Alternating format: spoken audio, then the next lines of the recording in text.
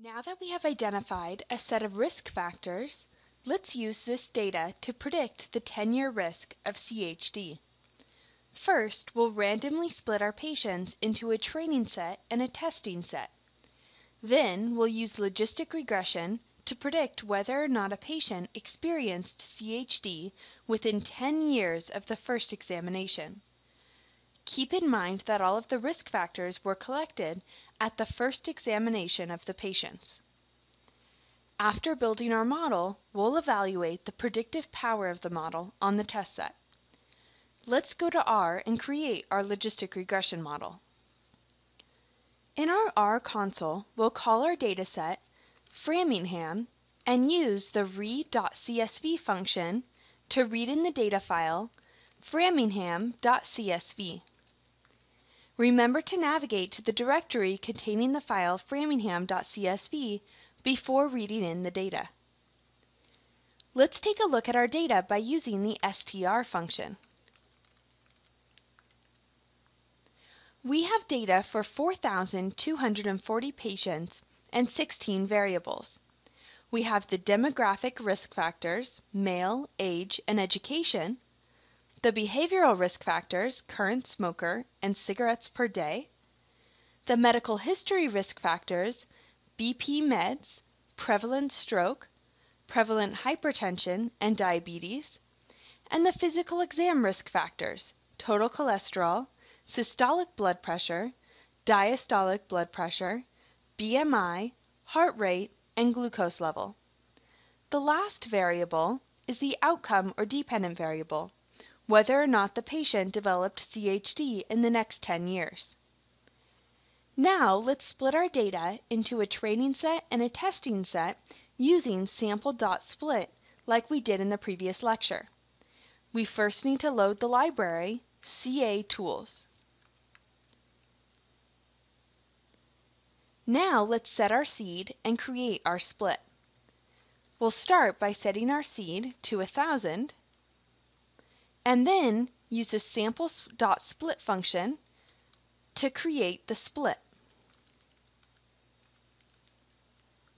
The first argument is the outcome variable, Framingham 10-year CHD, and the second argument is the percentage of data that we want in the training set, or the split ratio.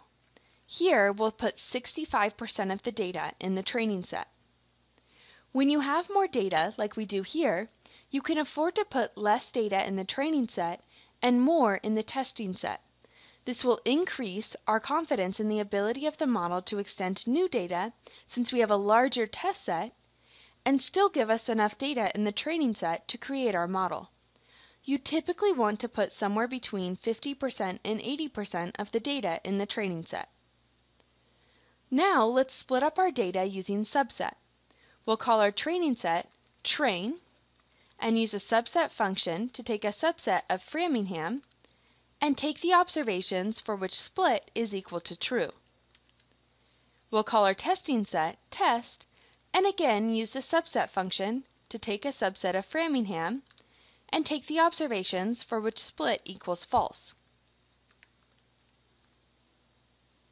Now we're ready to build our logistic regression model using the training set.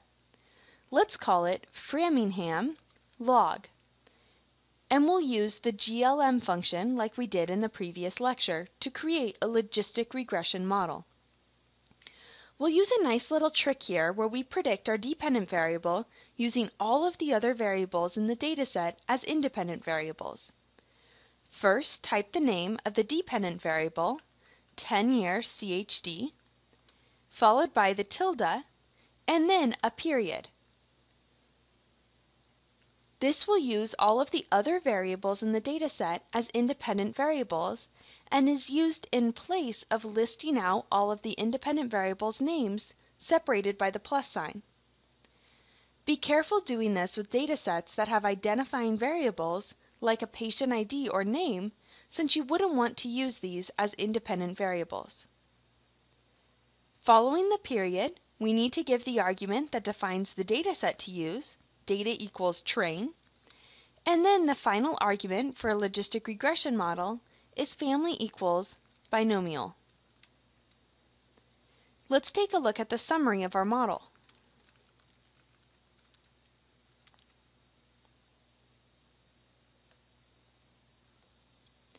It looks like male, age, prevalent stroke, total cholesterol, systolic blood pressure, and glucose are all significant in our model. Cigarettes per day and prevalent hypertension are almost significant. All of the significant variables have positive coefficients, meaning that higher values in these variables contribute to a higher probability of 10-year coronary heart disease. Now, let's use this model to make predictions on our test set.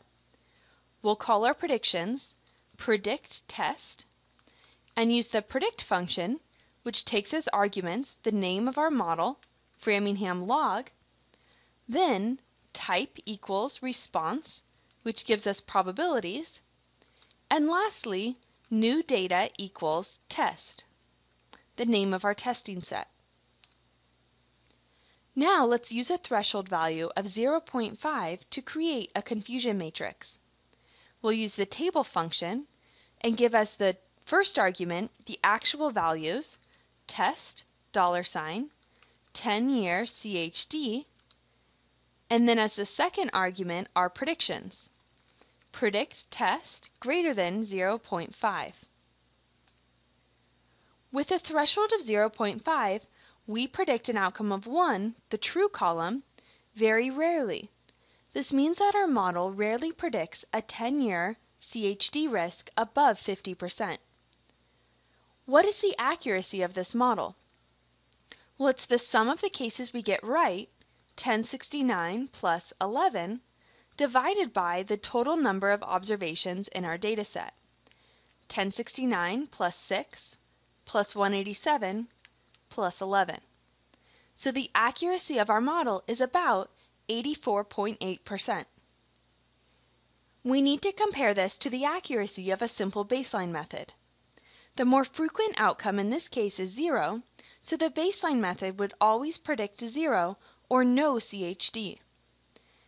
This baseline method would get an accuracy of 1069 plus 6, this is the total number of true negative cases divided by the total number of observations in our data set, 1069 plus 6 plus 187 plus 11. So the baseline model would get an accuracy of about 84.4%. So our model barely beats the baseline in terms of accuracy. But do we still have a valuable model by varying the threshold? Let's compute the out-of-sample AUC. To do this, we first need to load the ROCR package, and then we'll use the prediction function of the ROCR package to make our predictions. Let's call the output of that ROCR pred and use the prediction function, which takes as a first argument our predictions, predict test, and then as a second argument, the true outcome, test dollar sign, 10-year CHD. Then we need to type as dot numeric and in parentheses performance parenthesis ROCR pred, this is the output of the prediction function, comma, and then in quotes AUC, close the parentheses, type at y dot values, and then close the second parentheses. This will give us the AUC value on our testing set. So we have an AUC of about 74% on our test set, which means that the model can differentiate between low-risk patients and high-risk patients pretty well. As we saw in R, we were able to build a logistic regression model with a few interesting properties. It rarely predicted 10-year CHD risk above 50%, so the accuracy of the model was very close to the baseline model. However, the model could differentiate between low-risk patients and high-risk patients pretty well with an out-of-sample AUC of 0.74. Additionally, some of the significant variables suggest possible interventions to prevent CHD. We saw that more cigarettes per day, higher cholesterol, higher systolic blood pressure, and higher glucose levels all increased risk. Later in the lecture we'll discuss some medical interventions that are currently used to prevent CHD.